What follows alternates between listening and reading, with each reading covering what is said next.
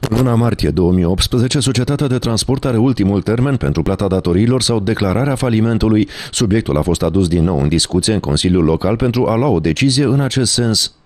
Consider că această societate e copilul Consiliului Local. Deci Consiliul Local are trei copii când, la care, la doi de deaba, acest, în acest copil, când a fost născut, când era născut, de ce a ținut la el și a mers când a crescut. A început să crească, a fost abandonat treptat.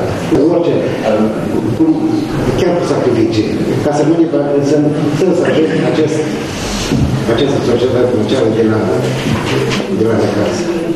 Pentru că ne vor judeca și ne vor condamna să Eu cred că nu este prea mult să gândim acum, pentru perspectiva imediată, găsirea unor soluții financiare cu riscul că vom tăia de peste tot câte ceva ca să ne putem onora cuvântul și în fața instanțelor de judecată pe care le-am asigurat că vom depune efort în așa fel încât să ne putem uh, achita datoriile și să ne salvăm de la faliment societate.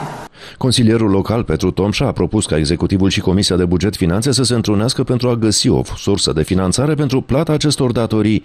Aș propune, domnule primar, Comisia Buget Finanțe, cu executivul primar, viceprimar, director economic, să facem o pauză de 5 minute, să nu greșim această hotărâre.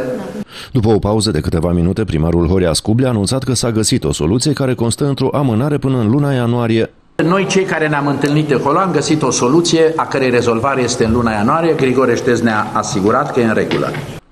Consiliul Local are o datorie de 1,1 milioane de lei către societatea Mara Nord, din care a anunțat că vor fi plătiți 100.000 de lei în luna ianuarie 2018.